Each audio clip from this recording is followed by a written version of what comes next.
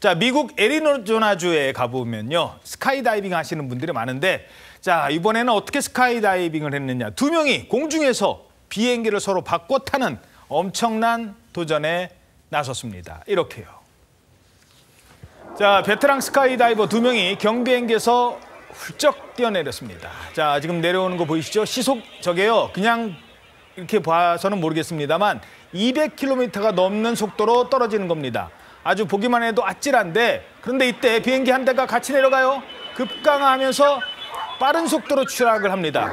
자, 그러면서 스카이다이버들 낙하산을 펼쳐서 일단 무사히 지상에 착륙을 하는데 성공을 하는군요. 자, 이것만 봐서는 잘 모르겠는데 어떤 상황이에요, 지금? 저 스카이다이버들의 사촌지간인데요. 뭘 시도하냐면 서로 타고 올라갔던 비행기를 바꿔 타는 거를 시도를 하고 있는 겁니다. 공중에서. 공중에서. 이른바 plane swap이라고 하는데 실제로 그게 성공을 했다라면 와.